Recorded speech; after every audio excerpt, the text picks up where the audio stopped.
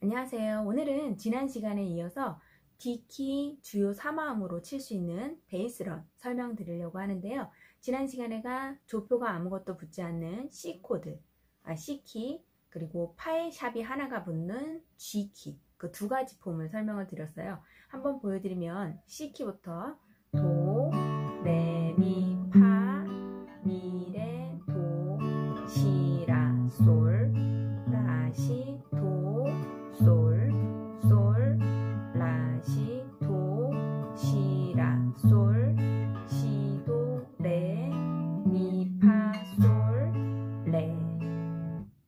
이렇게까지 한 거고 이제는 샵이 두 개가 붙는 D키를 해볼 거예요. D키도 마찬가지로 D가 1도가 되니까 레, 미, 파, 솔 4도는 G코드, 라 5도는 A7이 되겠죠.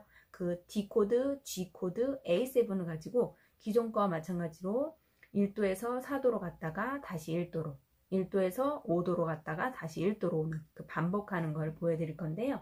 일단 D키는 파하고 도의 샵이 붙기 때문에 파하고 도가 나오면 파샵, 도샵을 눌러주시는 거예요. 이게 이제 키가 바뀌면 주의하셔야 될 게 샵이랑 플랫이 붙기 때문에 기존 조표가 아무것도 붙지 않은 C코드에서는 그런 걸 신경을 안 쓰는데 이제 키가 바뀌면 그런 거에 유의를 해주셔야 돼요. 샵이 붙는 거에 일단 D키를 보여드리면 레, 미, 파샵, 솔,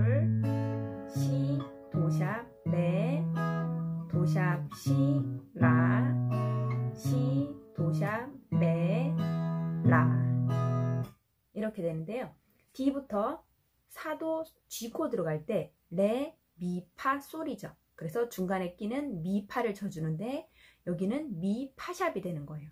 레, 미, 파샵 그리고 사도에서 1도로 솔에서 솔, 라, 시, 도, 레 그런데 여기 레를 레 가기 전에 시도를 채워주는 거죠. 근데 도샵이니까 시, 도샵 솔에서 시, 도샵 그 다음에 레 다시 1도로 온 거죠. 이제 1도에서 5도로 가는 거예요. 레에서 레, 도, 시, 라죠. 중간에 낀 도시를 쳐주는데 여기도 마찬가지로 도샵, 시를 쳐주는 거죠. 레, 도샵, 시, 그 다음에 라, A7, 5도로 가서 이제 1도로 맞히는 거죠. 라에서 라, 시, 도, 레가 되는 거예요. 그러면 시, 도샵, 여기도 마찬가지로 라에서 A7, 시, 도샵, 그 다음에 마지막 1도, 레, 도의, 아, D키의 1도가 레, 그 다음에 5도는 라가 되죠. 레, 미, 파, 솔, 라. 그래서 D코드의 1도, 5도, alternate 베이스까지 맞히는 거예요.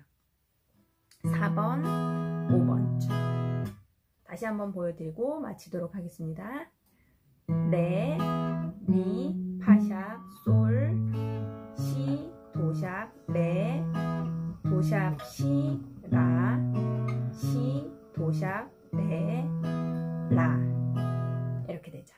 아 그리고 여기서 한 가지 더 이게 모든 곡에 저기 해당이 되냐고 질문해 주시는데 물론 박자만 맞춰 주시면 돼요. 예를 들어서 두 곡, 두 박자 곡이라고 생각을 한다면 G 코드에서 C 코드로 갈 때 기본 아르페지오를 쳤을 때 G 코드에서 근 3, 2, 3, C 코드로 가서 근 3, 2, 3 이렇게 쳐주죠. 그런데 여기에 베이스런을 넣고 싶다. 그러면 앞에 두 박 치는 거를 한 박만 치고 근 3까지만 치고 라, 시, 도 이렇게 넣어주시면 되죠. 그리고 얘도 만약에 세 박자 곡이다 치면 세 박자는 아르페지오가 여섯 번을 쳐주죠. 근 3, 2, 3, 1, 3인데 네 박자까지만 네 번까지만 치고 뒤에 두 박을 남겨두고 그 사이에 라, 시를 넣으면 되는 거예요. 근 3, 2, 3, 네번 쳤죠. 이게 두 박이고 라, 시, 도 3, 2, 3, 1, 3 이렇게 그리고 이게 네 박짜리다. 네 박짜리 같은 경우는 앞에를 세 박까지만 치고 근 3, 2, 3, 1, 3, 라, 시, 도. 이렇게. 뒤에 박자를 두, 번, 두 개를 남기냐 세 개를 남기냐 해서 만약에 전체 한마디를 다 놓고 싶으면 네 번을 다 놓고 싶으면 박자를 길게 하는 거예요. 그냥 라 시를 쳐도 되고 솔라 시를 쳐도 되고 솔솔라 시를 쳐도 되고 이거 뒤에 치는 박자를 몇 번을 쓸 건지 본인이 박자 길이만 맞춰서 치시면 돼요. 왈츠 같은 경우에 제가 많이 쳤던 것 중에 3, 2, 3, 1, 3, 솔, 라, 시 이걸 한마디를 다 친 거예요. 나눠서. 그 다음에 C 코드로